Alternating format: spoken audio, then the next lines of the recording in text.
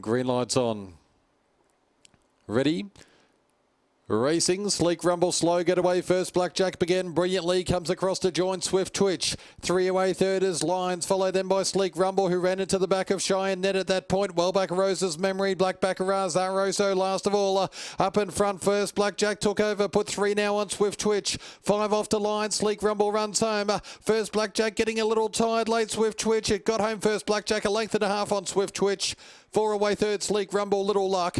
Then came Lions with Cheyenne, Ned, well back in the field. Rose's Memory, Black Baccarat, Zaroso.